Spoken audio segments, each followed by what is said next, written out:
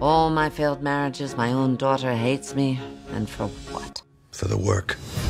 Still to come on Feud, Bette and Joan. It's just like 1937 all over again. When Hitler took Austria. No, when they labeled me box office poison. Your time has passed. Says who? Everybody. The 1962 Oscars. That's when things took such an ugly turn. Reviews have been uniformly good, but they're all about her. Do you have any comment on the Academy snubbing your co star? Define snub. You think I have the potential for greatness? No.